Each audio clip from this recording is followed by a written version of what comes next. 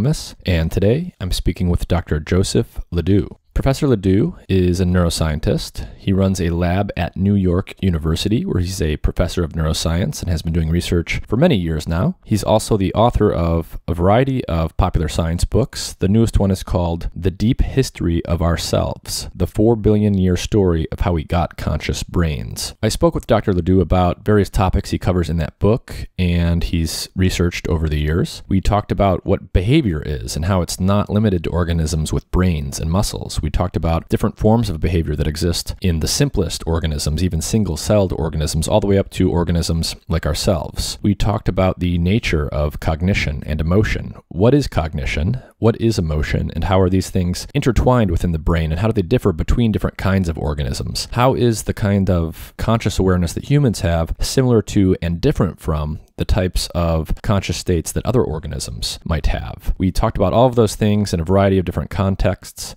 We talked about some of the early experiments Joe LeDoux did when he was a graduate student involving split brain patients. We talked about some of the research he did later in his career to do with memory and the idea that memory is not only consolidated when we transfer it from short term to long term, but reconsolidated. It's sort of changed and altered every time that we actually recall a memory, and we tied memory and language and emotion and cognition together in ways that were really interesting. And if you're interested in the brain or brain evolution or how brains do what they do with respect to emotion and cognition, this will be a great episode to listen to. Professor LeDoux is one of the authorities on all of these subjects. So I had a lot of fun speaking with him. If you enjoy the content I'm putting out on this podcast, please do like, share, and subscribe. You can find a video version of the podcast on YouTube. You can find the audio version on Apple Podcasts or Spotify or any other major podcast directory. You can also subscribe to my free weekly newsletter, mindandmatter.substack.com. You'll get updates about the podcast, other things I'm looking at in terms of research that's interesting, and other areas of science that intersect with what I discuss with the guests on the show. You'll also get access to some of the long form science writing that I produce and put on that Substack.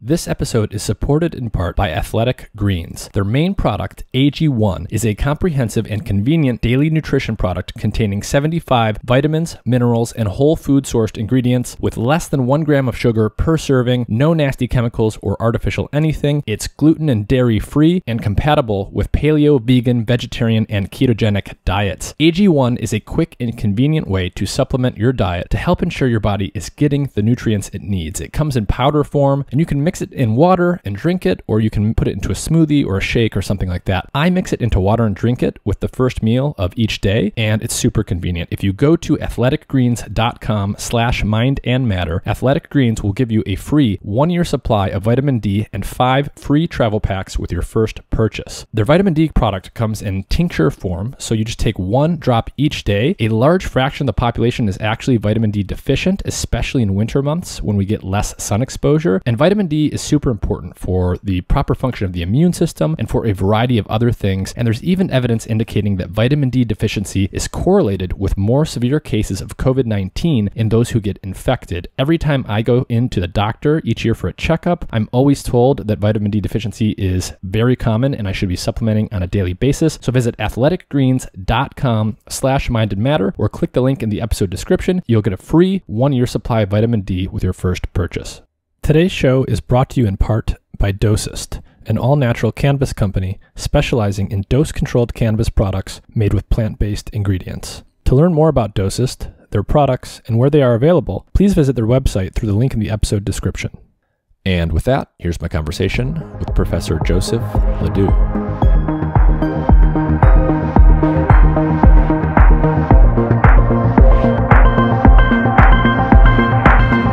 Professor Joseph LeDoux, thank you for joining me. Thank you for having me. Can you start off by just telling everyone who you are and what your scientific research focuses on? Yes, I'm uh, Joseph LeDoux. I'm a professor of neuroscience at New York University. And I've worked on problems about emotion and consciousness for, uh, I don't know, 40, 50 years, something like that, 45 years. I haven't added it up. Yeah. So you've been doing this for a long time. Um, you're also an author, among other things. Your last book, which I, I read through recently, is called The Deep History of Ourselves The Four Billion Year Story of How We Got Our Conscious Brains. And one question I'd like to start out with is you say early on in the book that you know normally when we think about behavior and consciousness we think about animals with brains especially uh, the biggest and most sophisticated brains.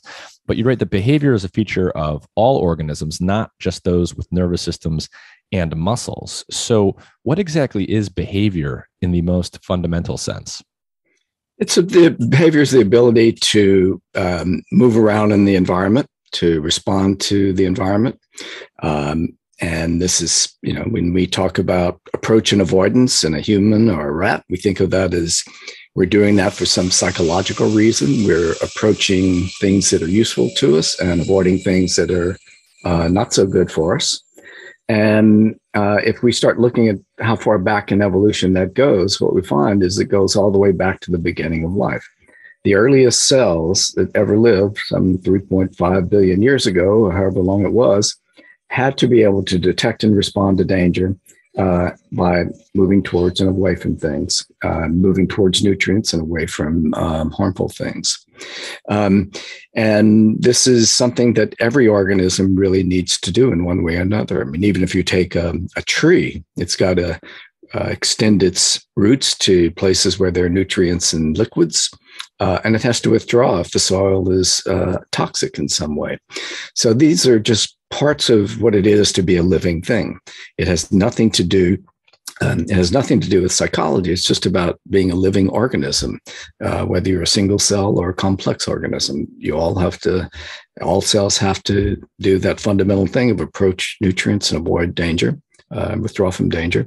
But they also have to be able to incorporate uh, liquids or drink liquids in some way to balance their fluids and electrolytes. They have to thermoregulate and they have to reproduce with their species to continue. So these are just fundamental things that are important for the survival of the organism. They have nothing to do with psychology. Of course, if you are a psychological being like we are, and like lots of uh, other mammals at least and other you know, we could question whether I, I would question whether invertebrates are psychological beings but that would get us into a whole controversy i don't want to go into. But you know certainly humans and other mammals are psychological beings in the sense that we do things uh, with intention that we have goals and we try to approach those goals to solve our problems. But that's a whole nother level above the sort of routine neurobiological level that allows you to survive if you're an animal or the basic biological requirements if you're not an, an animal but you're still so, a living thing and so you know if someone's interested in studying psychology and studying aspects of how the brain connects to the mind, why is it useful or perhaps even necessary to understand the behavior of even the simplest single celled organisms? Well, but the, the importance of the single cell organisms, at least for me and my interest in, in uh, animals that are close to us, like mammals and uh, primates and, and uh, humans, um, other humans, um, the important thing is that some behaviors are um, uh, have nothing to do with psychology.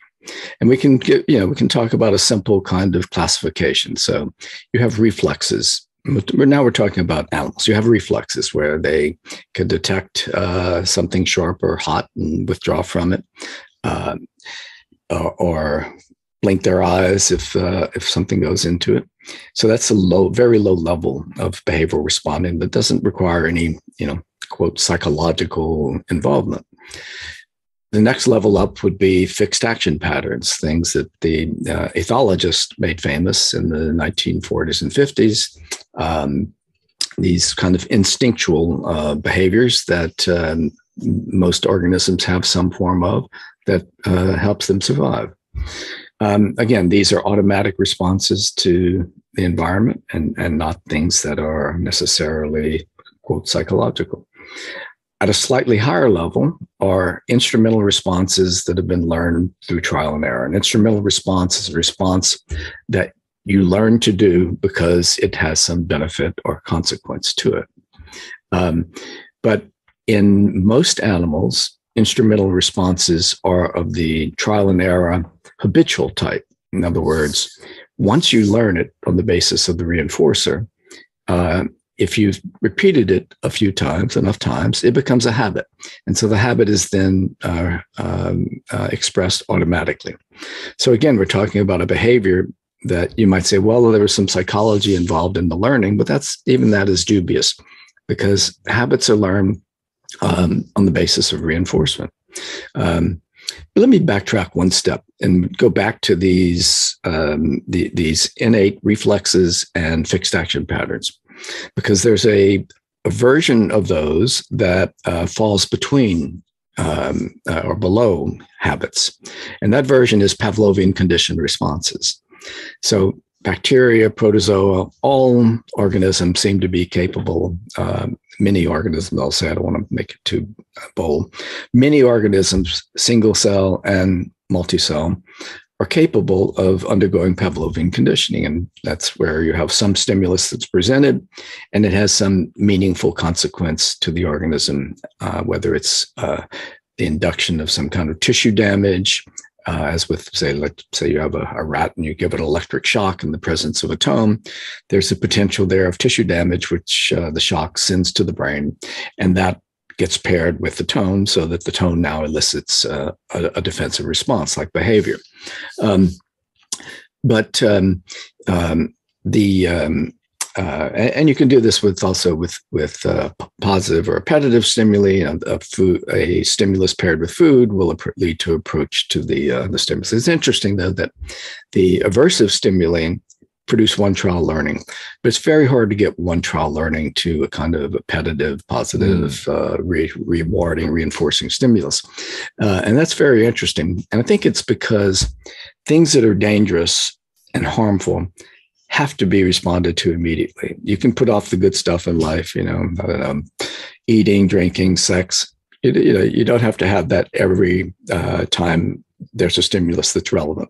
Um, but you do have to respond to danger every time there's a stimulus that's relevant.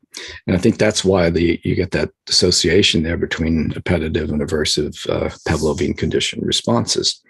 So reflexes undergo Pavlovian conditioning and fixed action patterns undergo Pavlovian conditioning. So when a rat freezes in the presence of a tone that's been paired with a shock, that's an innate fixed uh, action pattern that the animal has the ability to do to a natural stimulus, but that can also be changed through Pavlovian conditioning. So that is a very fundamental and simple kind of learning that adds to the to the the range of use of these innate responses. But now we go back to habits. Habits are a different thing because it, with a habit, you're learning a new response. Uh, it's a response that you didn't have in your repertoire, but because the response is reinforced, it gets added to your repertoire. Uh, now, this is a problem of uh, trial and error learning. It's about how a reinforcer changes behavior. Now, there could be in the presence of an aversive stimulus, some quote fear, and in the presence of an, an appetitive stimulus, a positive stimulus, there could be some pleasure when the reinforcer occurs. But one of the problems we've had in psychology is the confusion of these subjective states with these um, um, basic responses that don't require there be a subjective state. It's not that we don't feel, you know, pleasure when we have a, a nice tasty meal or having sex or that we don't feel fear when we are in danger because we do obviously we do. Um, but when we project those emotions that we obviously know and feel onto other animals we're confusing the history of our survival behaviors with um, emotions. Emotions are something that is quite different, and you may want to wait to get into that later in the discussion, but I thought I'd just bring that up. But let me just finish this hierarchy because after the, the habits, we have instrumental uh, responses that are goal directed. These depend on the creation of a middle model, an internal representation of the organism in the world and, and that relationship. And when that comes into play, that is quite different from a habitual response very elegant research by Tony Dickinson and, and uh, Bernard Balleine um, at Cambridge. They were both there at the time. Um, showed that the uh, the animal has to um, the, the, the difference between a habit and a um, uh, uh, goal directed action is that one involves the representation of information independent of the external stimulus.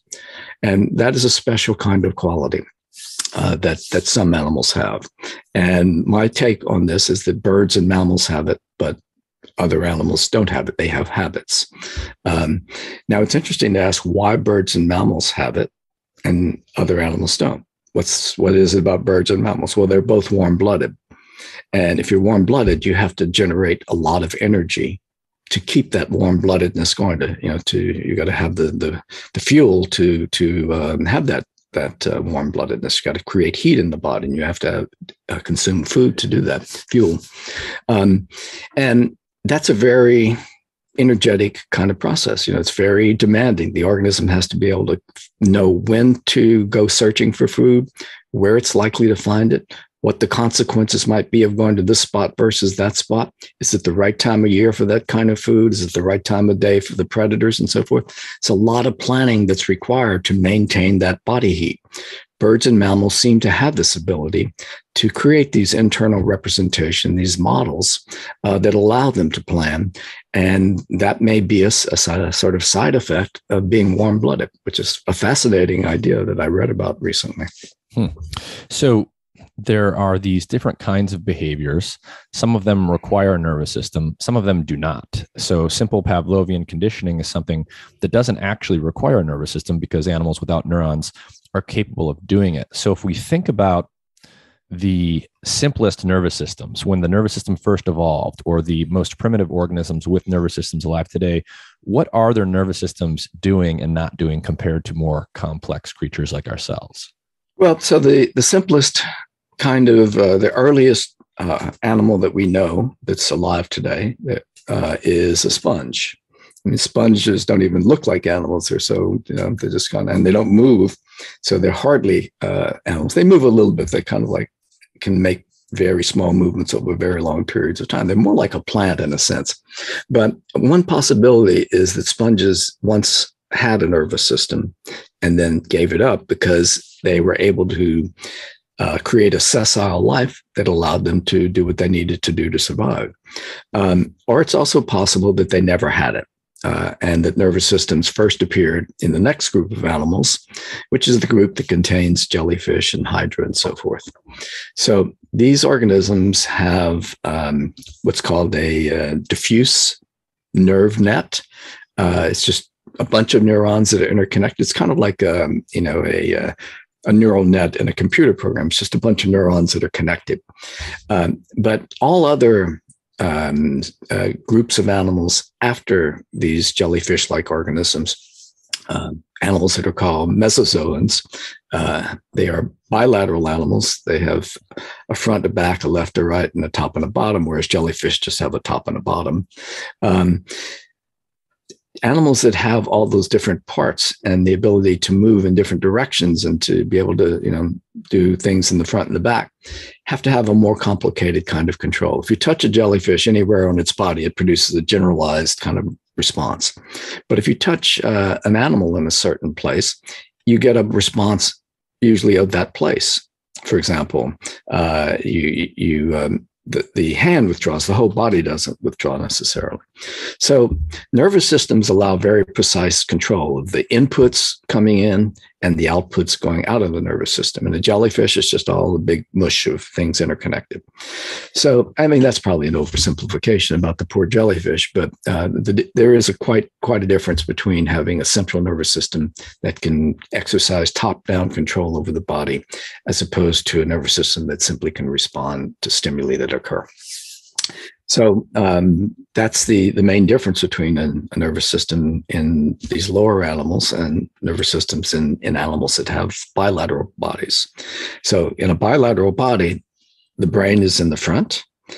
Uh, why is it in the front? Well, that's the, the if if you have a front, um, and all of the sensory organs most of the sensory organs are located there. It's a short distance to the brain. So all of that can be coordinated, and then you can get the signals back to the body to make the kinds of movements that are necessary. Um, um, but having the brain in the front and that being the forward le- direction of locomotion means that something coming at you from behind might bite off your tail uh, but at least you're going to still have your brain and your ability to control the body uh, in a, a, reasonable, you know, kind of predictive way of uh, the, the environment. So um, you write in the book, and it sort of gets at what you're just saying that the nervous system, in the most fundamental sense, is a sensory motor integration device. So whether it's a jellyfish or a human or something in between, there's there's something fundamental about sensory motor integration coordinating the inputs coming into the sense organs with the outputs being what the muscles are doing. Right. And much of our brain is devoted to you know this this process as well detecting stimuli and responding to them. I mean the most basic level of the nervous system the reflexes you know that's sensory motor organization. Um, these fixed action patterns those are often uh, motor programs that have been instituted by evolution so that you know there's some some stimulus in the environment that was dangerous to uh, the ancestors of an organism.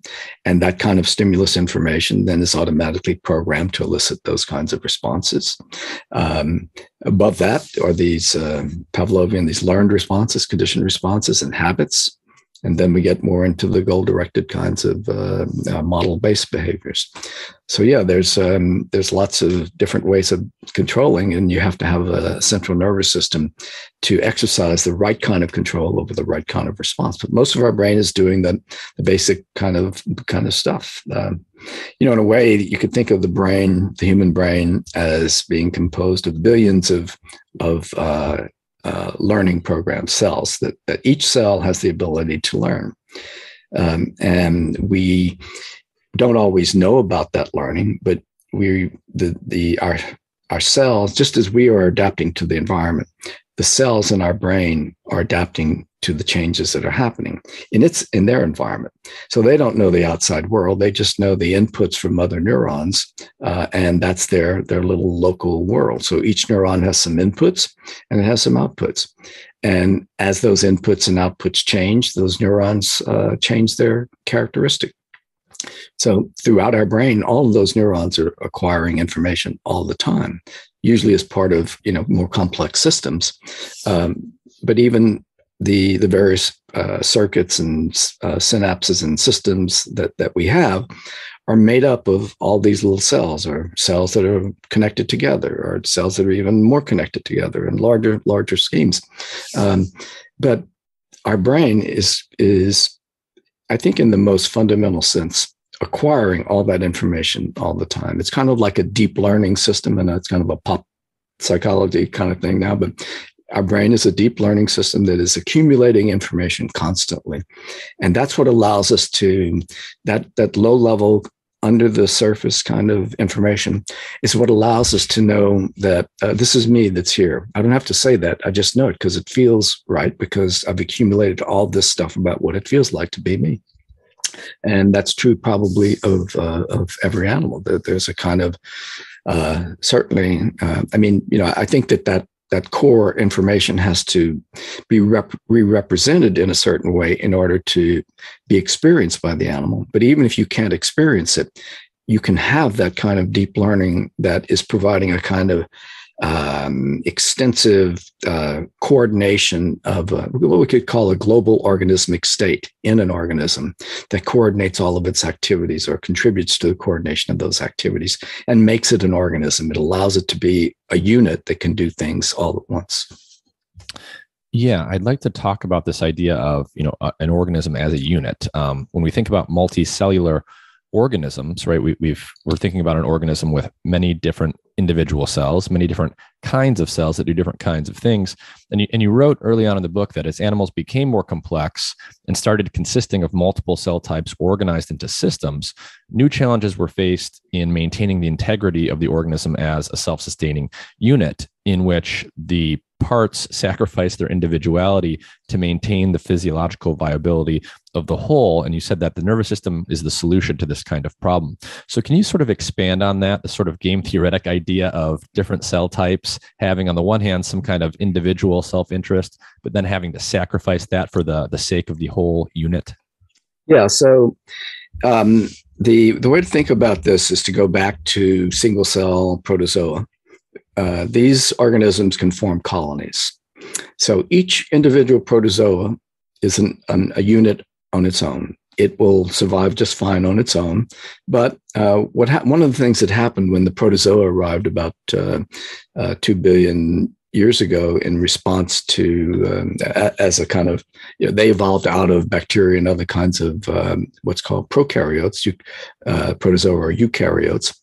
And one of the things that happened is they, unlike the bacteria and other uh, prokaryotes, eukaryotes are able to grow a little bigger uh, because of their the fundamental way biological mechanisms that that uh, constituted their nervous system uh, and their the fact that they had a nucleus that was uh, contained within a membrane and uh, uh, organelles in the body such as mitochondria they were able to grow bodies slightly bigger than bacteria. Bacteria have a, a fundamental limit they can never get very big but eukaryotic single cells got a little bigger. Not you know not twice or three times as big but just big enough that they could then become predators to bacteria uh, and then predators to themselves. So there were two other protozoa. So uh, protozoa, the, the, not protozoa, but protist in general, the, the group that the protozoa belonged to, uh, were the first predators. Um, and this means that if you are a little smaller than some of the other organisms, it pays to kind of bind, bound to get bind yourself together with other ones to uh, to get safety in numbers. So if you make yourself bigger as a group, uh, that protects you from single cell uh, organisms that are bigger than you as an individual coming to attack you. Um, and so in these groups, these are all these are all, for example, cells that come from different parental lineages. There, by the way, uh, protozoa, uh, the protist invented sex. That's the, they, the first organisms that had sexual reproduction. So we can say that the mother cell of all these cells in a colony isn't necessarily the same. Often the mother cells are different, and the so-called daughter cells are collected together just because they're around and they can fuse together. And so when they do that through gene uh, interactions amongst the cells that are clinging together, what you find is that you get these um, uh, uh, temporary or these inhibitory effects of all these cells together and their genes, where you get gene suppression in in some cells for some functions. Remember, each cell can do everything: feed, reproduce, locomote, so forth. But in a colony, each cell gets a job that's just randomly t- determined by the kind of algorithm that the, the genetic uh, pro- um, consequent the protein consequences of the genes are spewing out and causing you know the suppression of some genes and the leaving of others alone. So you get some that are going to be involved in locomotion some are going to be involved in feeding some are going to be involved in fluid uh, extraction some are going to be involved in reproduction. Um, and when that happens, you get a kind of an efficient thing that is very close to being a true organism. But if one of those cells defects and decides to, doesn't decide, but just for whatever reason, maybe it gets bumped out or something, uh, but if it is out in the water alone, it can it has all of those capacities because the suppressing genes are gone and it just reverts back to having everything. Um, but what happened with multicellular organisms is that a way was figured out evolutionarily to have those organisms all come from one mother one uh, parent cell uh, and have the same genome. And the when you do that you can now start from a single cell, a fertilized egg, and create the entire body. How that happens is very complicated. I'm not a biologist. I'm not going to go into the details, but that's the key thing that in a colony, um, each cell has the ability to do everything, but some of the functions are inhibited. But in a real multicellular organism, each cell only has its primary functions, right? Um, so um, it's the the way that started was by a special kind of colony called a clonal colony. In other words, each cell was kind of a clone of the other, and so they had all the same genes, and um, those clonal colonies were responsible for the evolution of plants, fungi, and animals, the three multicellular kingdoms of life, um, because of you know, once you had these clonal colonies, that was enough for evolution to take over and to figure out a way to put all of that into one cell that would then uh, create all the parts that did all the different functions. I see. So, so a, a key a key step in the evolution of multicellularity must have involved what you needed to have this one cell that gave rise to many. But in order for all of that coordination to happen and that specialization to happen, a there has to be a way for the cells to literally stick together. And b there needs to be some kind of communication between them so that one can learn that oh i need to turn on this set of genes but not that set of genes and then start to get specialization. Right. Yeah now um, um, something you said triggered something that i forgot exactly what it was but uh, uh, it was a word. I, maybe it'll come back to it. Let's go on. Yeah. So so when we start you know when we start thinking about these early nervous systems we think about um, you mentioned the sponges and the cnidarians. So the cnidarians, like jellyfish, have this very simple neural net. They don't have a centralized brain like like animals do, and the sponges don't have a nervous system either because they never had one or maybe they lost it. But one thing that I found um, interesting to to learn about and think about was they nonetheless have many of the genes required to make a simple nervous system. And so when we think about organisms that have genes that they don't use for for some of these other purposes or they don't use at the particular time in their development what does that start to tell us about how we think about how evolution is actually piecing these novel structures together yeah but i think we have to come at it from the different from a different angle because it's not that evolution isn't using these neural possibilities. The neural possibilities didn't exist right? So l- let me tell the story of why why i wrote the book if that's okay. Okay. Um, so i'd been working on pavlovian conditioning in the mammal brain for uh, quite some time number of years 20 years or so maybe longer um, and i had you, I you know, found out a lot about the neural circuitry involving the amygdala and other parts of the brain that connect the stimulus to the response and so forth. And then I turned to the molecular mechanisms that might underlie this kind of plasticity. And, you know, it's very hard to like from scratch figure out how to study molecules in the mammalian brain, or at least it was at that point. But the invertebrate research by Eric Kandel and others had shown all these molecules that were involved. So we decided to just follow their lead and start studying the same molecules. I mean, this was being done in the hippocampus as well for like long-term potentiation and plasticity there. So it wasn't, I didn't invent this idea, but you know, the field was like moving in this direction. Let's use the hints from the invertebrates. And so you know, it was cool that they, okay, we can take something from an invertebrate, study it in a vertebrate, and show that it's not only involved in synaptic plasticity induced artificially by long-term potentiation, which is a kind of, you know, stimulation method, but also the same molecules and genes were involved in, in uh, actual learning by the animal, the Pavlovian conditioning. So I didn't think, you know, I thought that was just very convenient methodologically. Uh, but then I spent some time with uh, Seth Grant, who had been a postdoc with Eric Kandel. Um, but at the time, we were uh, I was uh, doing a sabbatical at Cambridge, which where where Seth was at the time, and we um, you know we're talking about this a lot. And what came to me from his from his work was that these same some of these same genes let's take nmda receptors which are so important in synaptic plasticity in mammals and look at where those how far back in evolution those go. So you know what seth found was okay you've got it in, you've got certain components of the receptor in mammals. You've got uh, the same components in you know vertebrates uh, other vertebrates. But you also have them in um, non-vertebrate organisms, invertebrates, of course, like the Kandel organisms, uh, aplysia and so forth, and worms and flies and bugs, um, but also in the jellyfish. Okay, so okay, they all have nervous systems, so maybe there's something there. But also in sponges, sponges don't have a nervous system. Mm. What are they doing with components of the NMDA receptor, which is so important for plasticity?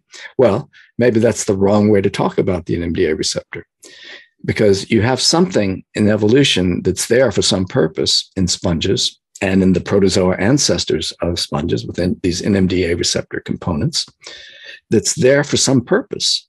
But now you're going to evolve you're starting to evolve, you know, bodies that get more complex and you get some cells that interconnect locally, and then they start growing, and then you get a, a kind of uh, diffuse nervous system, and then you get a centralized nervous system. All this starts from some kind of thing that exists in the non-animal organisms, non uh, sorry, the non yeah the non-animal uh, protozoa. So they uh, you know you got the same receptor components in uh, in trees and other plants and so forth. So there's something in back there in evolution that these components were used for but now when you're moving towards trying to make behavior more complicated because you know the environment is changing you have predators and so forth you've got to respond in a new way along comes the ability to use whatever was in these um, uh, uh, other organisms in a new way and that's what happens evolution takes what exists and builds up so I, uh, I think yeah, so I wanted to uh, go back to what you said earlier that I couldn't remember them. You said they kind of stick together. And that's really important because the reason those uh, colonies stick together is because they have these cell adhesion molecules. Now, that the cell adhesion molecules continue to be used when you go from single cell to multi-cell organisms uh, as part of the mechanism of structural plasticity in the nervous system. The neurons have, the synapse has to cling together. The front and the back of the synapse, the pre and the postsynaptic neuron have to cling together. And so these uh, cell adhesion molecules are allowing those synapses to maintain, to re- stay close together, and ultimately uh, initiate growth processes that allow them to be stabilized. So, you know, all this stuff comes from somewhere. It doesn't get invented out of uh, whole cloth. It's all modifications of stuff that existed way back in many ways, in many cases. Mm, yeah. So most of the components of the things in the nervous system that we typically associate with with nervous system stuff and brain stuff have usually have deep histories where they were used for some other purpose and they get kind of co-opted and retooled exactly. for new uses. Yeah, and a great example is the action potential. You know, you know, we think of that as the brain's like signaling mechanism, but the heart has action potentials too. Mm. It's not just the brain; There's action potentials all over the place. Um, and where did that come from? Well, it's believed that this electrical signaling cells is believed to have occurred way back in evolution as a way of um, um, uh, close. You have a single cell organism. There's some damage to the cell wall, so that cell is going to die very soon because it will leak everything out. But evolution, uh, you know, Mother Nature, whoever we want to attribute this to, figured out that if you um, uh, create an electrical spark by certain kind of chemical interactions, uh, that will seal up the cell membrane. And so that electrical spark of protecting the integrity or restoring the integrity of an injured cell membrane became the basis for electrical signaling in single cell organisms internally for other purposes, you know, communication, and for action potentials when nervous systems came along. So when we start to think about central nervous systems, animals with brains like vertebrates, you often hear in in sort of pop sci speak this notion of the brain as containing um, like two or three different parts. So you often hear people refer to the mammalian brain as having sort of a, a reptilian brain, an inner core that's responsible for basic reflexes and our, our baser instincts. And then there's this outer layer with the cortex and the expanded neocortex in mammals and primates that's responsible for thinking and cognition and, the mind as we normally think about it. Is that a legitimate way to think about the brain, or is that uh, confused in some important way? Well, the first you got something right that is not right in a lot of the pop psychology stuff, which is that this is all part of the forebrain, the mammalian forebrain, not three levels of the brain in general. I think you got that right. um, so um, the you know the reptilian brain, people think of that as like the lowest part of the brain, but it's mm-hmm. not. It's the lowest part of the forebrain, and um, then the so you know in the in the this all comes from uh, a German neuroanatomist at the turn of the century, tw- turn of the 20th century, uh, named, um, um, what's his name? Ludwig. Ludwig, uh, yeah. I forget his last name. Anyway, but so um, he proposed that the, uh, the, that we have these three brains um, And this was picked up on Paul by Paul MacLean. Let me just start that. I'm going to drop uh, uh, Ludwig out and just say, so all this three brain stuff um, in modern times comes from Paul MacLean, um, a neuroscientist uh, who was at the National Institute of Mental Health in, in uh, the Washington area uh, in the 1940s and 50s.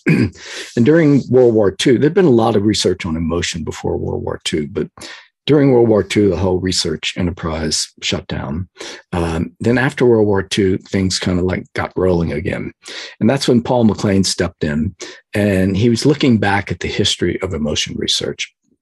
And this led him to conclude that, you know, mammal, early mammals were nocturnal creatures, um, um, based living their lives based on smell. That's correct, um, and that um, their brains were wired for this kind of primitive uh, uh, early response to um, um, uh, survival, right? So the idea was that the uh, mammalian brain, uh, sorry, I'm, I'm, messing all this up.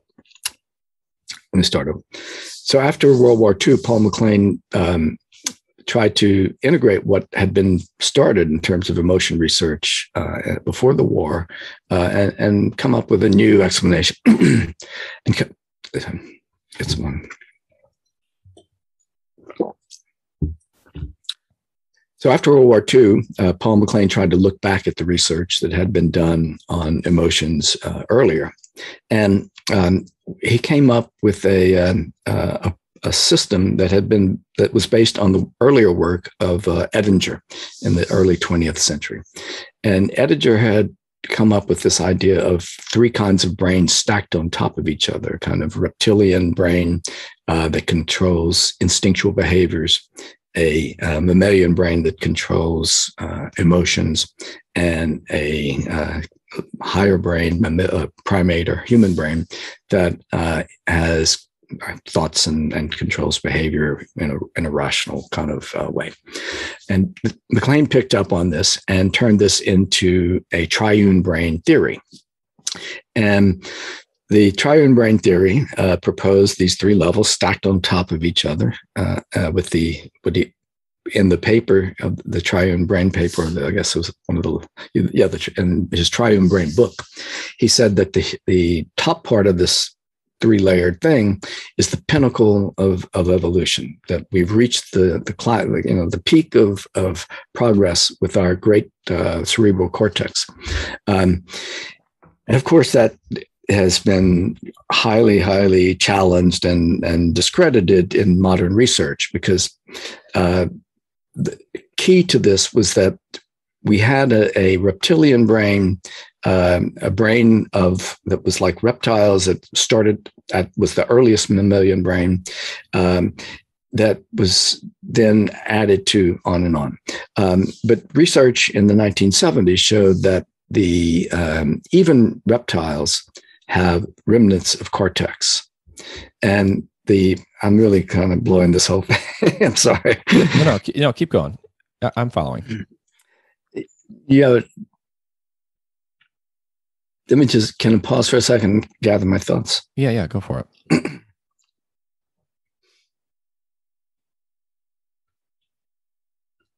okay. So in this triune brain, the um, um, the reptilian brain was supposed to be taking care of instinctual behaviors, um, and this was uh, supposedly something um, that uh, was directly passed on from the reptiles. Um, and you you ended up with uh, the basal ganglia uh, as a result. So in reptiles, the basal ganglia was said to con- to occupy the entire forebrain, uh, and in mammals, it only occupied a small part. Um, but in mammals, we also got something called a neo basal ganglia or neostriatum that was supposed to be brand new. Now, it turns out that that neostriatum, based on modern neuroanatomy, actually exists in reptiles. Mm.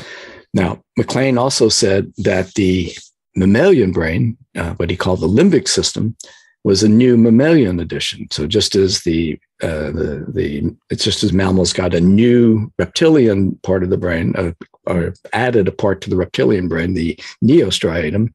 Um, the uh, the mammals added a, a limbic system, uh, and that allowed you to have not only fixed action patterns or instincts, but also now emotions, um, and because of this. Um, uh, um, mammalian uh, limbic system, and then on top of that, um, but well, it's a, so the mammalian specialty. So the mammalian specialty, the limbic system, was supposed to not be in reptiles, but areas of the mammalian limbic system, the amygdala, the hippocampus, uh, others, other areas like that, have been found in reptiles and have been hmm. found in lower vertebrates, fish, early fish.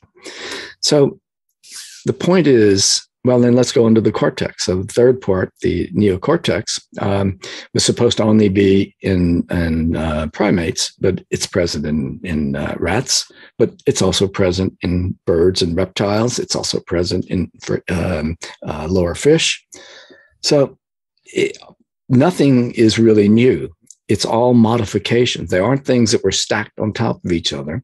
What happened is structures became entwined and, and evolved. Like this part of the basal ganglia expanded to have a, a novel part. This part of the um, um, middle part, what he called the limbic system, expanded so that the amygdala got bigger and, more connected, but it was always there, even in early fish. Um, and the cortex also remnants of, cort- of cerebral cortex, neocortex in, in ver- uh, reptiles. There's cortex pallium in in uh, fish.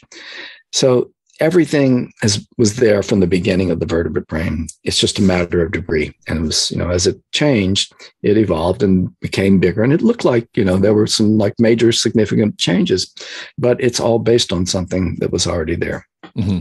And, and, you mentioned how everything is so intertwined. And I'm wondering if you could speak a little bit about the difference between emotion and cognition, because you know people often talk about those things as if they're completely separate. One part of the brain is doing emotion and basic feelings and basic instincts, and other parts of the brain are doing cognition. But to what extent are these things intertwined and inseparable? Well, let's start with the definition of cognition. Um, and I'm giving you my definition, which not everyone will accept, but this is the framework from which I'm um, working. And you're talking to me, so I'll tell you what my framework is. So I think of cognition as uh, the ability to create internal representations of the world and use those representations when the stimulus in the world that was responsible for those representations is not present. So it's the ability to draw upon memory to uh, construct a model of the world in which you can examine different possibilities of action or um, different possible ways of thinking uh, without having to test it out. So if you are a, if you are an animal that only has uh, the ability to undergo trial and error learning, you're going to have to try that trial and error is going to have to occur in the world. And if it's a dangerous situation, you're going to have to risk your life to learn what's safe and what's not.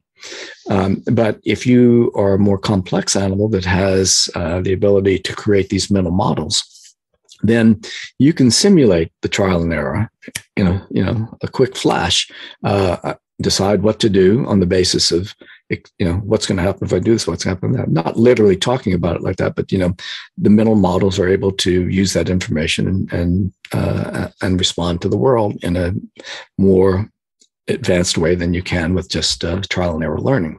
Now in the human brain we can do this like in a literally in a flash of a second evaluate options um, because the human brain is able to simultaneously um, think of alternatives while working on a problem. Other primates seem to have to stop working on the problem in order to consider alternatives. And then they can go back to the problem if the alternatives aren't better, but if one's better, then they can go.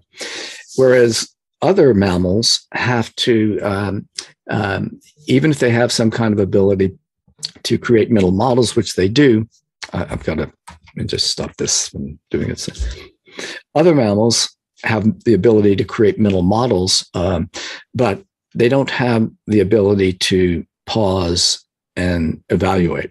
Mm-hmm. If they go to to if they go to testing mental models mentally, they don't go back to the same solution. They have to choose one of those. At least that's my understanding of, of the literature on that.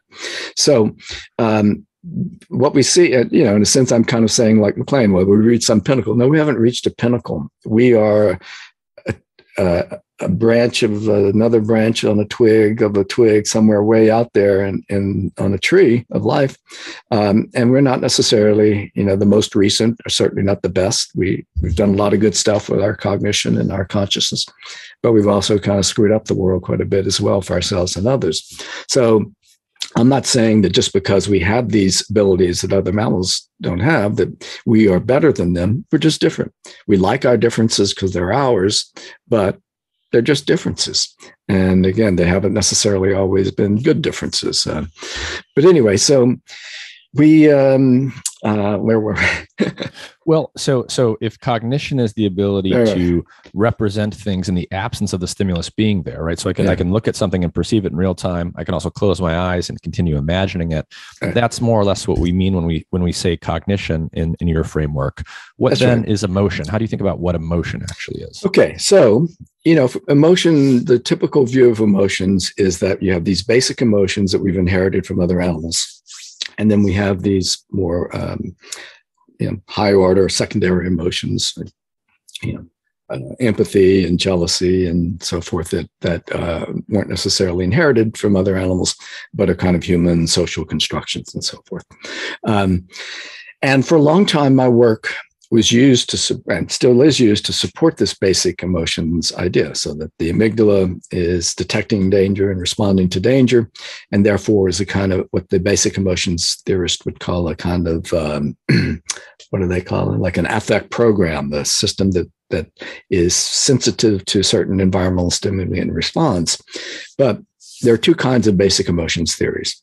One is about the responses. A lot of the, the kind of Ekman work is about facial expressions, Paul Ekman, uh, about facial expressions, innate responses to so called innate responses to specific kinds of key stimuli in the environment, about danger and, you know, uh, other uh, other things, um, anger and so forth. Um, but the um, uh, the other kind of basic emotions theory is that these affect programs are also responsible for our subjective conscious experiences.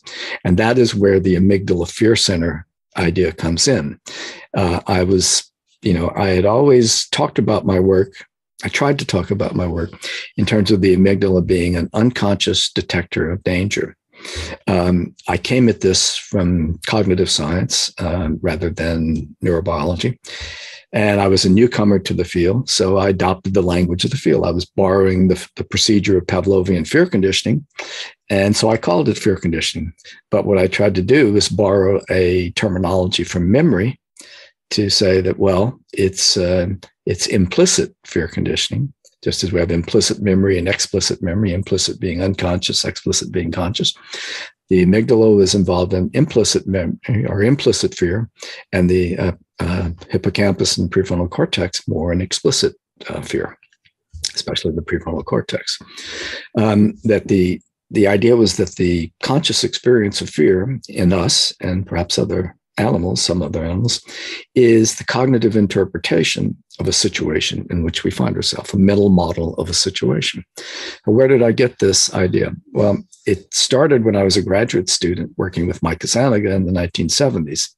So Mike and I were studying split brain patients. These are people in whom the two hemispheres, the connections between the two hemispheres have been split uh, section uh, to help control the spread of seizures from one side of the brain to the other, and control because these these people were uh, had very severe epilepsy that wasn't being helped by medications. So, um, and this was a very obviously a, a, very serious decision for a family to make. A, um, to choose to do this, um, but they felt desperate and that there were no other options at the time because this was, you know, 40, 50, 60 years ago, 50 years ago, and the medications were not uh, uh, working for everyone. I don't know how well they work today. I kind of not out of that field now. Um, but the um, uh, they were fascinating patients because the the classic idea is that or finding is that in the left hemisphere of a split brain patient you have language so the person can talk about what it or the left hemisphere can talk about what it sees and um, what it what it thinks and so forth, whereas the right hemisphere doesn't have language, so it can only respond to the world. So in terms of the uh, uh, well, so the right hemisphere doesn't have language, it uh, so it, it can't answer questions, but it can respond to the world. So you know that it's alive and responsive, but you just don't know what's in there. But there was a patient in in the group of people that we were studying. Uh, this this was a new group of patients that were being operated on at Dartmouth. The other patients had been operated on in California, where Mike uh, was studying them as a student himself. But in the Dartmouth group, we had this one patient who could read in both hemispheres, but still could only talk in the left, to the left. So this seemed to be the opportunity to really ask the question uh, could you have two conscious minds, one in each hemisphere? So Mike had written a paper called One Brain, Two Minds, kind of speculating about that. But with the right hemisphere being unable to talk and communicate with you in a kind of meaningful way, it can just point to things and so forth. It was really hard to say that there was anyone home um, I mean, there was someone home, and something was home in the sense of being behaviorally responsive. But you know, every animal uh, alive is behaviorally responsive. So um, we said, well, let's look at what what we can do with the ability of the right hemisphere to read. So we put some words into the left visual field. Left visual field means it goes to the right hemisphere, but you have to make sure the guy's staring at a dot on the screen so he doesn't move his eyes. Otherwise, it would go to both hemispheres. So, staring at a dot um, in the right hemisphere, we put "Who are you?" and we placed a bunch of Scrabble letters on the table in front of him. And left hand, right hemisphere controls the left hand, pulls out P A U L, spells his name. Okay, this is definitely someone home there because he knows his name. And what's the hallmark of consciousness? The ability to anticipate the future, to anticipate your own personal future. So we asked him, you know, what do you want to be when you grow up? Grow up. And he spelled out um, race car driver. Hmm. And we, from a conversation with the left hemisphere, he'd always said he wanted to be a draftsman, an architect. so here we have two sides of the brain with the same name but different life ambitions. So it was kind of a fascinating thing. Now, is that, you know, did that, did we really nail down the problem there? I don't know. I mean, was, these are just observations. You got one patient and you go as far as you can with it, but it was the basis for my and Mike's uh, kind of future careers in a way, because uh, Mike went on to develop the idea of the left hemisphere interpreter as being this thing, left hemisphere interpreter is the the basis of human consciousness. Um, but um, um, let me backtrack for a second and say what had happened. So after we we observed this patient that day, we would all you know after the day's work we'd go to the bar at night and talk about what we had found. Uh, and we were talking about this guy Paul and um, how he when when we did an experiment that I haven't mentioned yet, but we would um, um, present a stimulus to the right hemisphere that would cause him to perform a response. Mm-hmm. So, like stand up or um, scratch uh, or something like that, and uh, or wave. Yeah. So when we did when we t- get him to get the right hemisphere to do those things, we'd ask the left hemisphere, "Why did you do that?" And without batting an eye, you know, without missing a beat, just instantaneously, when we when we said uh, uh, stand up, and the right hemisphere stood up, we said, Why'd you do that? He said, I had to stretch. I was really tired sitting here. When the right hemisphere, I guess left hand scratching the right hand, said, Why'd you do that? Well, I had an itch. Why'd you laugh? You guys are funny. You know, so he was just like narrating a story based on his behavior. And so at the bar that I was saying, you know, maybe that's what we do. I think probably Mike saying that. I was just you know, a very young, naive student. I had two degrees in marketing and joined Mike's lab because I was wild about what he was doing, and he took me. But anyway, so um, we said maybe that's what we do all the time. We just you know confabulating, generating narratives to explain why we do and what we why we uh, do what we do and what we do. Uh, Mike was a good friend at the time with Stanley Schachter, a social psychologist at um, uh, Columbia, and with Leon Festinger, another social psychologist at the New School uh, up the street in New York. And um, he, um, from these two guys, from from um, um, Festinger, he got the idea of cognitive dissonance. And this is a very popular idea in mm-hmm. psychology, right? That when you do something that doesn't sit right, you have to justify it in some way. So when you know, we all believe we have free will, right? So we, if our if our body is producing a response, behaving in a way that our brain, our conscious brain, didn't produce, that's disturbing. Because why did I do that? I have free will. Not what's going on? Why am I doing? Well, Paul showed us that what we do is we just kind of explain it away. Uh, oh, I needed to stretch. Why'd you cheat on your wife? Well, you know, she wasn't that nice to me. Why'd you uh, eat that dessert? You're going to get fat. Well, you know, one time won't matter. You know, we we narrate these stories to ourselves, and also at the bar, we uh, Mike said, you know, there's not much research on emotion, and you know, maybe those are the kinds of processes that are going to be generating these behaviors unconsciously that that we have to explain to ourselves and to others. And so I said, yeah, that, you know, I'm pretty interested in emotion, and so that's I just said, well, I'm going to turn my work. You know, when you leave split brain research that your mentor is sponsoring, you don't have another group of patients you're going to be able to study, right? Because there's so few of these. So I had to find something else. So I decided to turn to rats to study how rats might unconsciously control behavioral and physiological responses to danger, um, uh, because we've inherited these same circuits that control behavioral and physiological responses to danger uh, from animals like rats, not necessarily rats, but other animals that are in our direct past. So I turned to rodent studies of Pavlovian fear conditioning. And because I was a newcomer, I just called it fear, even though my idea was that emotions, which we got from Stanley Schachter, the other guy that I mentioned up there, uh, who is a, also a friend of Festinger's. Schachter's theory was that uh, emotions are cognitive interpretations of situations. I won't go into the details of his experiments, but he had some evidence for that. And so we we bought these two kinds of social psychology concepts and brought them into our interpretations of, of what was going on. Um, and so I uh, I decided that um, um, the way I want to think about this is that these emotions that we uh, often will associate with these hardwired responses are not necessarily hardwired responses. Emotions are cognitive interpretations of situations. I've said that throughout my career. I can't say I never said that the amygdala is a fear center. I probably did, and you can find it somewhere. But don't hang me for that because, uh, as John Lennon said, uh, what is it? Um, uh, I forget. uh,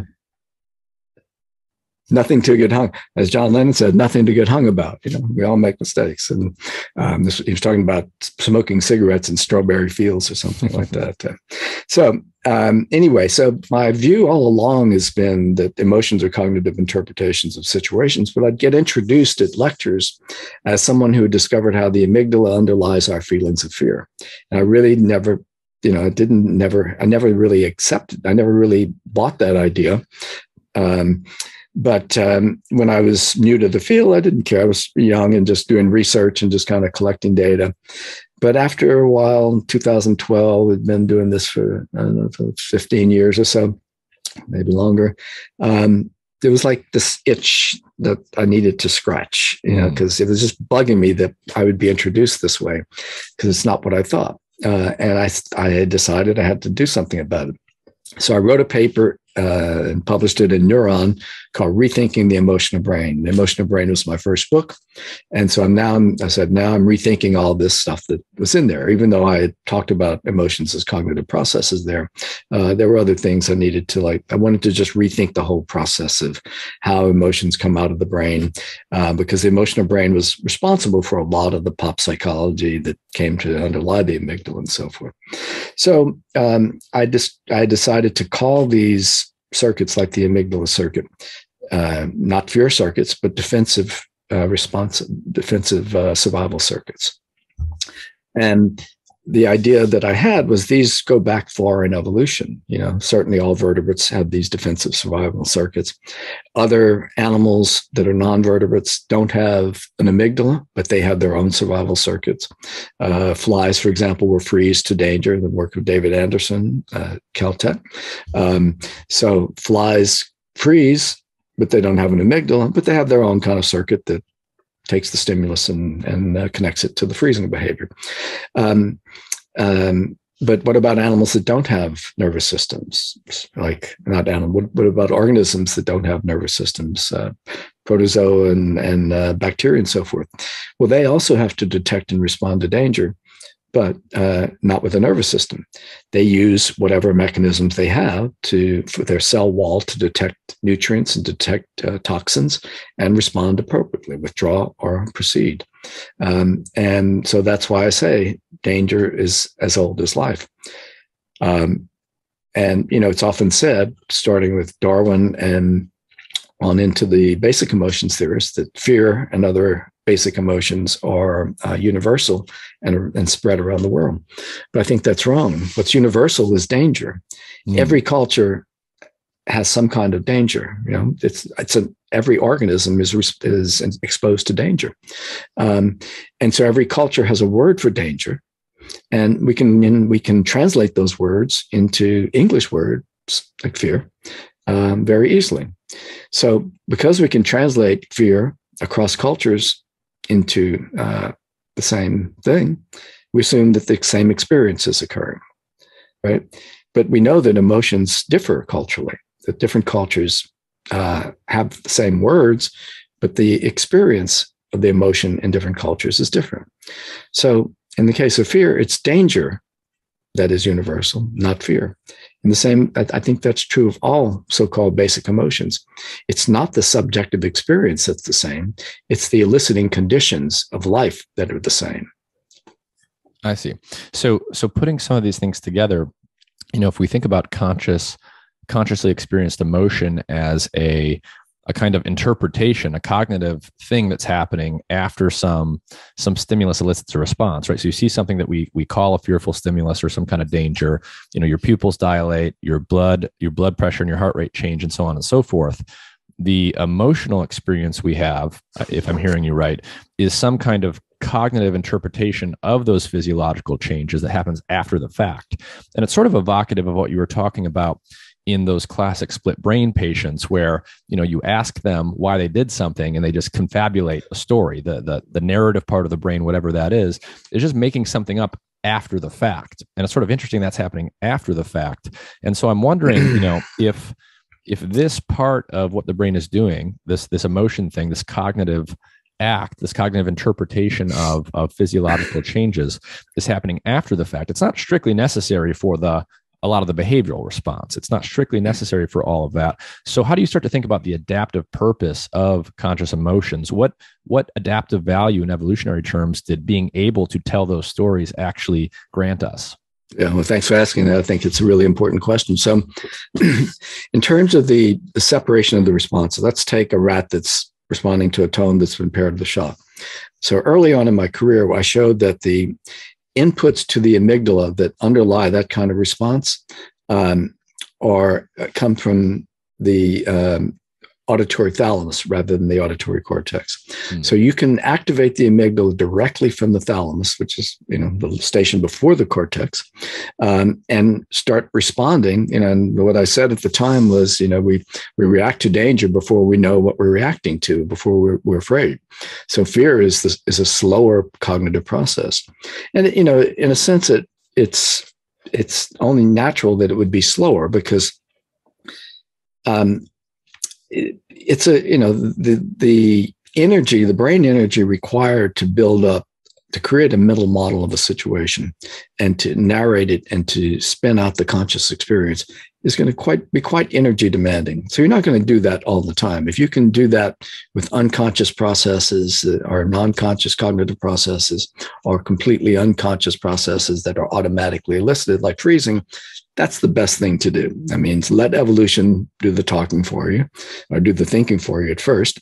And then, you know, you because and and you can't help but do that because they just come out so fast these automatic responses so when that's coming out you then see what's happening um, and you, you uh, begin to respond to that so your behavior again becomes part of the cognitive mental model that you're assembling uh, but not the only part because the mental model is uh, assembled in in large part i would say on the basis of schema these are men, memory structures about specific kinds of things and situations that have been built over the course of your life. You know, Piaget talked about this, and Frederick Bartlett talked about schema in the 1920s and 30s. Um, and so, schema are these, you know, just bundles of memories about kinds of situations. So when you're at work, you call on a work schema. When you're at, uh, at a party, you call on a party schema because you act differently than you do at work and party. You don't have to think about it. The schema activate the you know the schema create the, the mental part and and also the scripts the, the kind of behavioral outputs that you are most likely to be expressing in a situation like that um, so anyway so you've got the the schema that are um, building up the model of the situation these come into the uh, prefrontal cortex by way of the hippocampus and into the ventromedial prefrontal cortex, uh, and where um, the schema are, are uh, the hippocampus and medial pre- ventromedial are, are communicating as the situation changes, and so the schema will change. But the ventromedial outputs go to the lateral prefrontal cortex, where the cognitive mental model is being assembled, and within that model, is not only the schema, but also specific stimulus information, other kinds of memories, body feedback, um, your goals and aspirations, your hopes and dreams. All of that comes into the mental model. Um, and then and then the output of the mental model, this is in, in my so-called model of how this works, is the narrative. So a narrative in this sense is a kind of abstract it's not a, it's not language it's an abstract code that comes out of the mental model and controls behavior including speech and also populates a conscious mental model. And the conscious mental model then can also control behavior and speech but separately from the unconscious one. So uh, the why well that's the purpose of consciousness. It's not just to have the experience, but that it's adaptive. It opens up another level of decision making for you that you don't have if you're st- strictly responding unconsciously. An unconscious mental model is good, and again, it's it's less energy demanding than a conscious one. So that's your kind of go to process. But if in the process, the, the, the unconscious process of going through that, something triggers uh, something is triggered that doesn't feel quite right, that's what will signal the uh, the generation of the conscious mental model. So earlier we talked about this kind of deep learning in the brain that is kind of just always accumulating information and allowing you to know that it's your body and your mind that's involved. So the idea is that the um, one of the things that would be important in the triggering of the conscious mental model is that so-called what psychologists call the feeling of rightness William James kind of started. He started everything, but the feeling of rightness that uh, occurs when everything is right. But when something is a little off, you get this, you know, a violation of that rightness, and that triggers something else. And that triggering is the what justifies the use of, of the energy required to make the conscious mental model. And um, so, what's interesting is how all of this works in the human brain because I think if we knew more about how it works in the human brain, uh, what are the, the areas and interactions between areas involved in human consciousness, we would be able to speculate, given what we know about what our brain is doing, what other brains, what the brains of other animals might do, given the similarities and differences with our brain. And so I used I liked the uh, a partition of consciousness that Endel Tulving created uh, some time ago, which is between autonoetic or self-reflective consciousness. Uh, Tulving and, and many others believe this is perhaps a kind of human, or at least um, you know, human chimpanzee kind of uh, ape kind of. Uh, we we are apes, so we can call it kind of an ape consciousness that is able to internally represent oneself as the agent. I mean, we don't, we can't prove that apes have this, but they seem to have all of the, they have enough of the kind of stuff we have to, that they probably have something like that. Um, so the self-reflective consciousness would be limited in evolution, um, whereas noetic consciousness is uh, knowledge of facts and semantic knowledge of facts and concepts. So you have a conceptual representation of the world um, that is very, you know, elaborate if you're a monkey, um, but you may not be able to take that next step that requires um, uh, the the reflective self that, that leads to the reflective self-awareness because your brain is while quite similar to ours it's not the same um, and what about other mammals well the third kind of consciousness is no anoetic. The third kind of consciousness is anoetic consciousness. Now, this was puzzling to me for a long time because Tulving called this non-knowing awareness based on non-knowing knowledge what the hell is that? And, you know, I thought, you know, this, I, I can't buy this because, you know, it's unconscious conscious. And the psychologist, neuroscientist Jaak Panksepp used to talk about this kind of unconscious consciousness as well. And Jacques and I had a lot of disagreements about, um, uh, uh we frequently were dis- in, in, dis- in, we frequently were not in agreement about consciousness and, and emotions. Um, but I figured out that it's all about one thing. That our disagreement was totally about anoetic consciousness, because as he said, and that I believe now, that that's what rats and other lower mammals, I'll call them lower, but non-primate mammals have is this anoetic consciousness, this ability to know that this is my body, this, these are my mental states, but without any kind of explicit awareness or explicit uh, acknowledgement of that. It's just that it's there. Mm-hmm. And when it's not there, then, you know, it, something is triggered. Now, Panksepp said that that was all subcortical limbic stuff that was responsible for that. Um, but I think that it has to be re-represented cognitively, just as the amygdala has to be re-represented cognitively in order to have the fear, right? Mm-hmm. So the idea is that we have these, let's say, let's just take um, the deep learning systems of a rat subcortical brain um, that it's it's acquiring all let's just say of the rat brain because it's, unconscious stuff throughout the brain. So the, the deep learning in this rat brain is acquiring information about the environment what is the normal, you know, I won't say what feels right, but what is uh, normal, typical, uh, and what is not typical. And so, even through some kind of, you know, expectation violation mechanism that we hear a lot about in neuroscience, you know, predictive coding and errors and all that stuff, you get you get something that violates an expectation that triggers something. So, if all this deep learning stuff is hunky dory, and then all of a sudden something violates the expectation of hunky doriness, then that triggers something else. And what that triggers is a re representation of that information in ventromedial prefrontal cortex and other kind of um, more um, primitive uh, prefrontal areas like the uh, prelimbic cortex in a rat, for example, is supposed to be their working memory area and so forth. So this would allow the animal to now have a kind of higher order representation.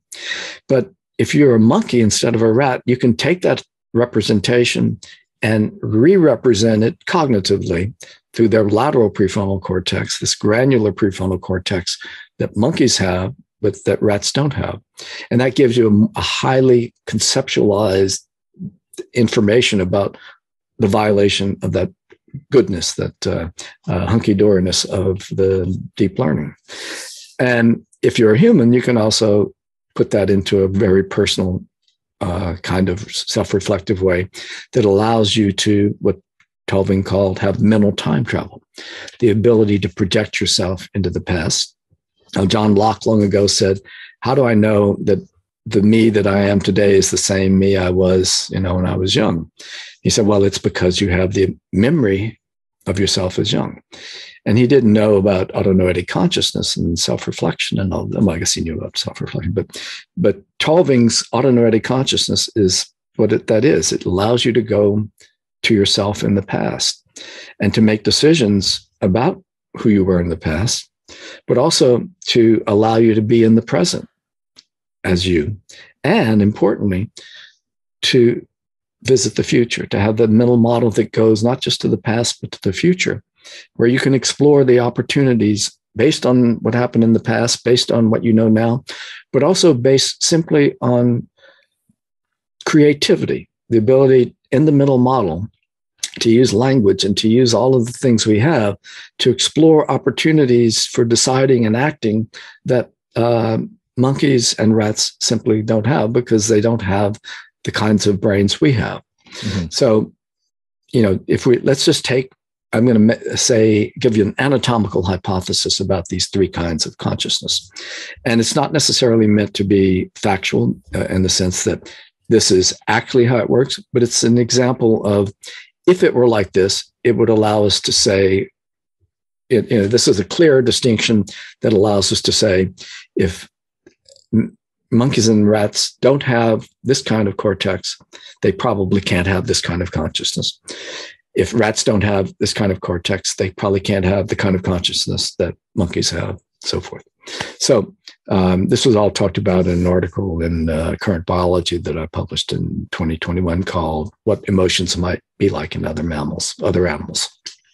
So there's a part of the prefrontal cortex called the frontal pole, and the frontal pole wraps around from the lateral surface to the medial surface. Uh, and it's all granular cortex. Most of the medial surface is not granular, but the frontal pole is a granular represent, representation that goes into the medial prefrontal cortex. Um, but in the lateral, and monkeys have that, and and uh, humans have that, but rats don't have it. Now, the lateral frontal pole has a part, a component in the human brain that even monkeys and chimpanzees don't seem to have.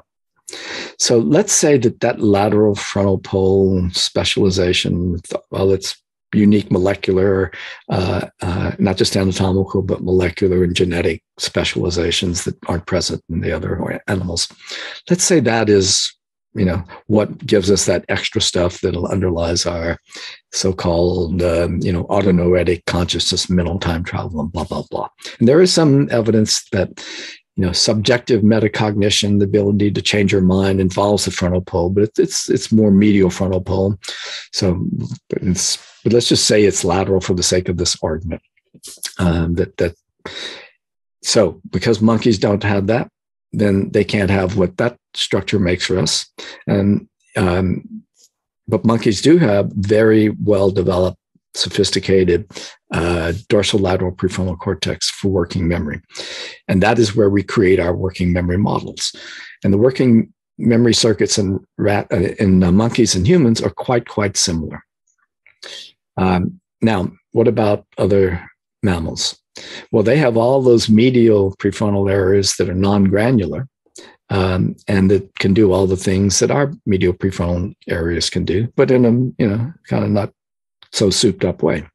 So the idea would be that if our medial prefrontal cortex is responsible for anoetic awareness and our dorsolateral prefrontal cortex for noetic awareness, conceptual and semantic awareness, and our frontal pole for autonoetic awareness, then we would be able to speculate about what other animals, what other primates have, and what other mammals have that's similar and different to ours.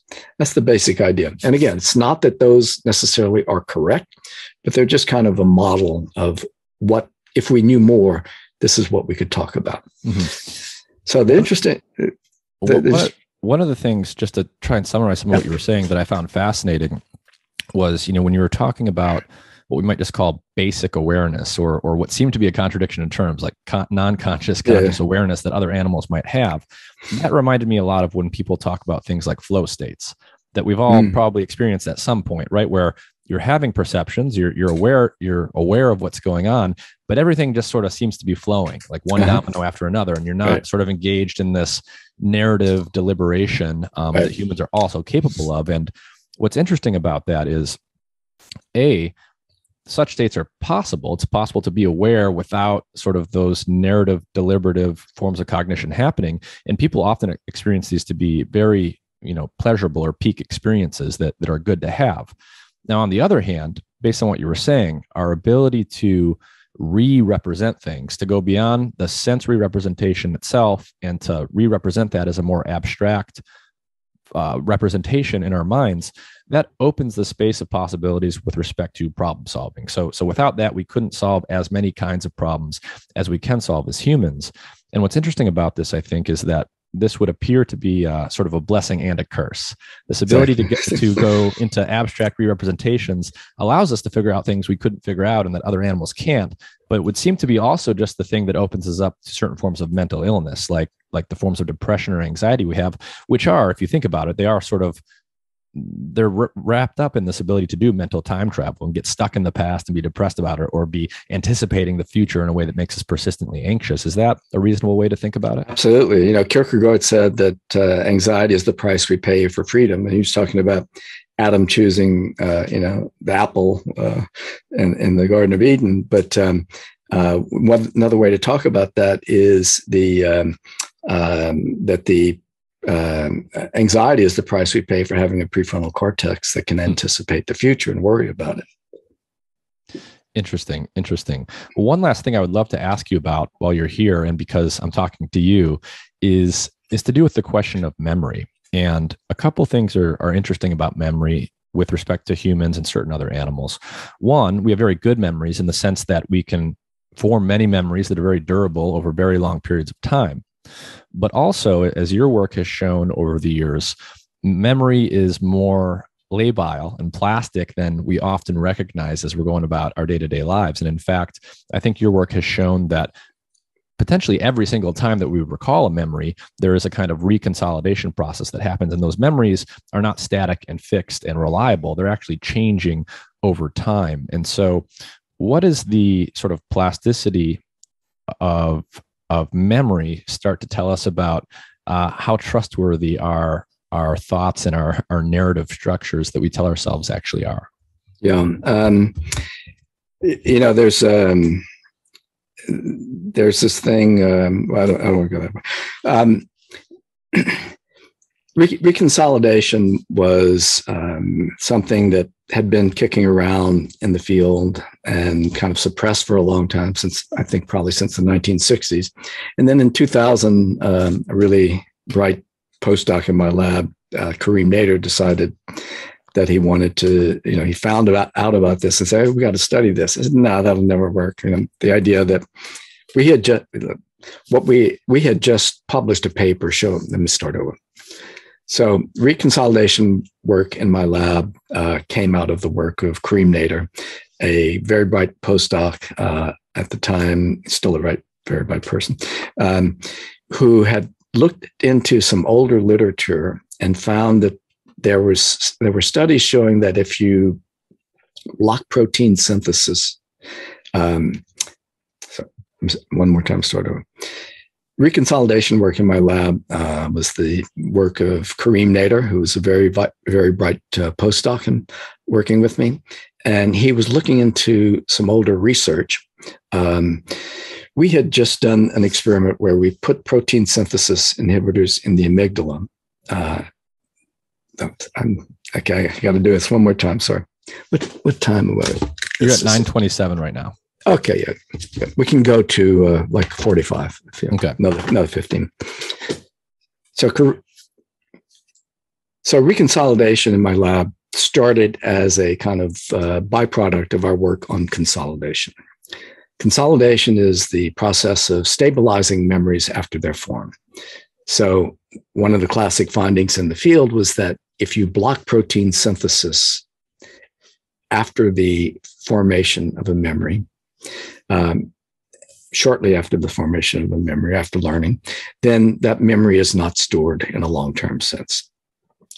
Um, so the idea was that these the proteins that would be made um, are not there.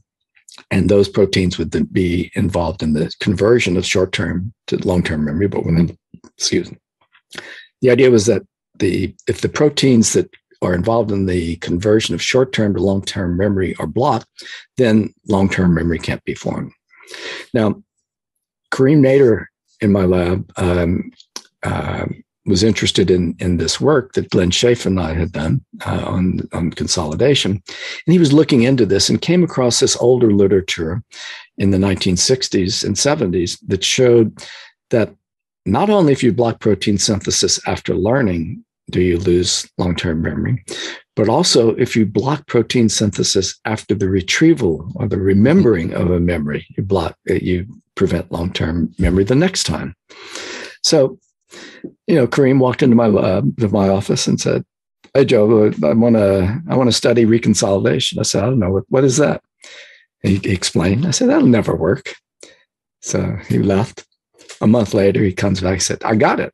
I said, "What'd you get?" He said, "Well, I, I showed that if we block uh, protein synthesis in the amygdala after the retrieval of, of fear conditioning in the rats, then the rats don't freeze anymore to the tone."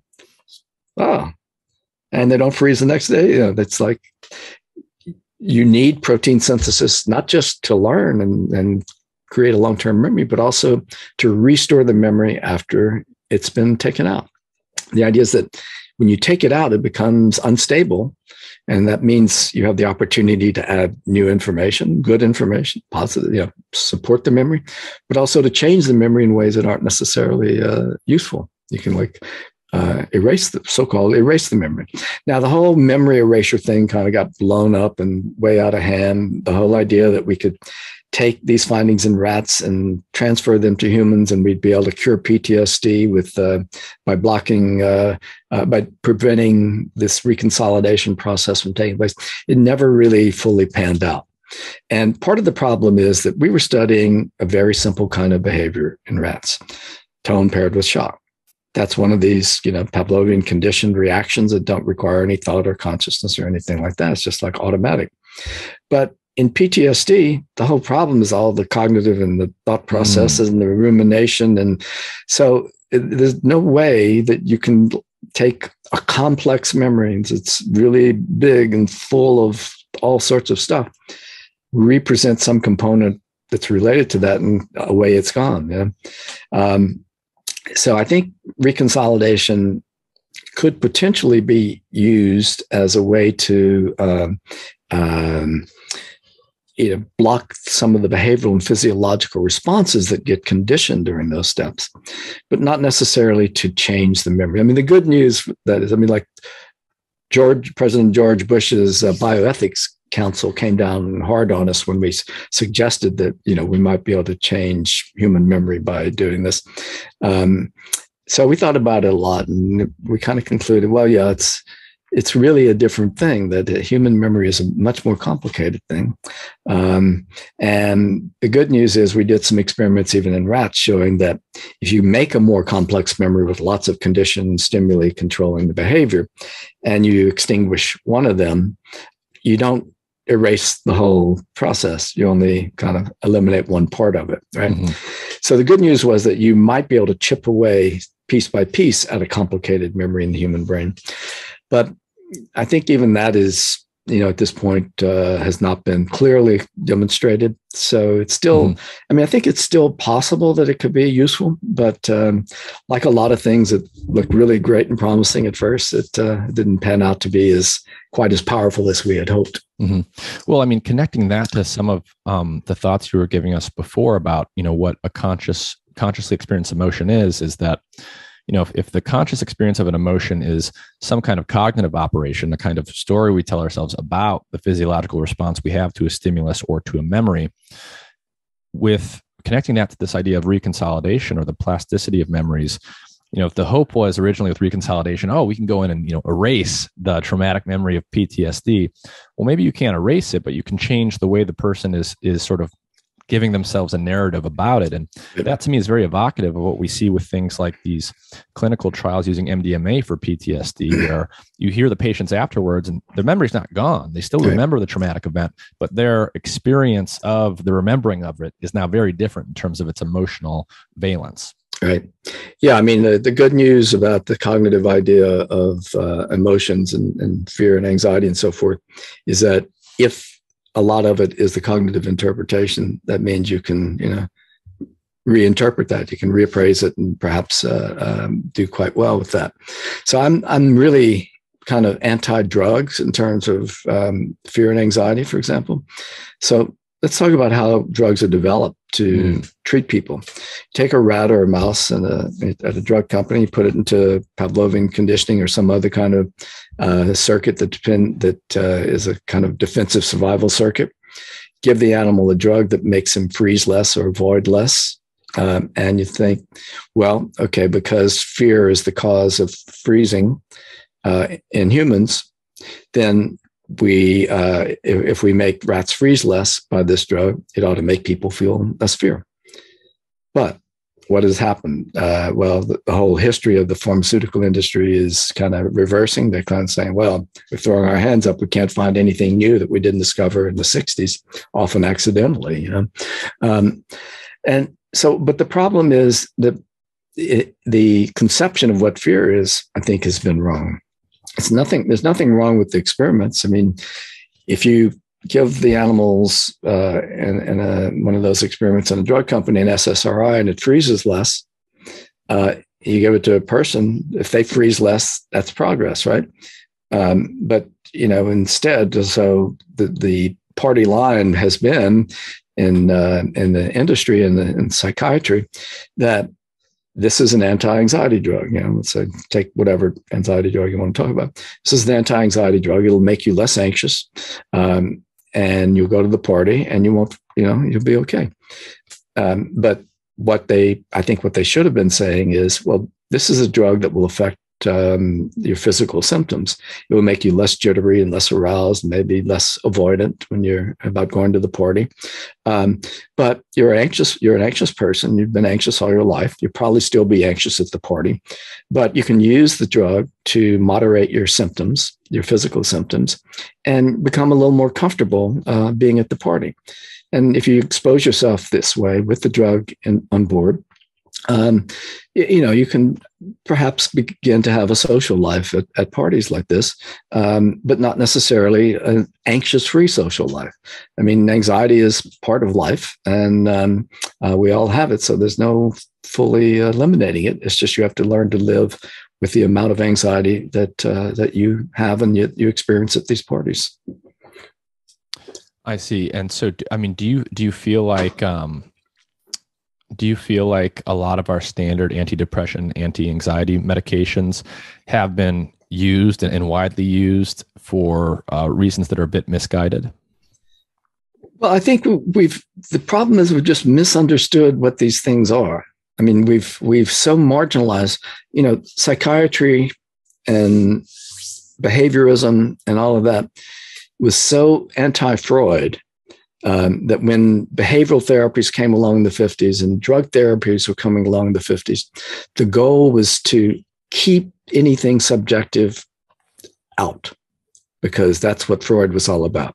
But they threw the baby out with the bathwater. Okay, you can get mm-hmm. rid of, you know, repression, sexual abuse, repression, blah, blah, blah, and other things that were, uh, uh, and uh, that, that Freud touted that were, you know, more doubtful you can't have a psychiatry that ignores the subjective experience of the patient. Now, we just wrote a paper called um, Putting the Mental Back into Mental Disorders. It's about how, you know, over the entire course of uh, since the, the 1950s, um, subjective experience has not been valued.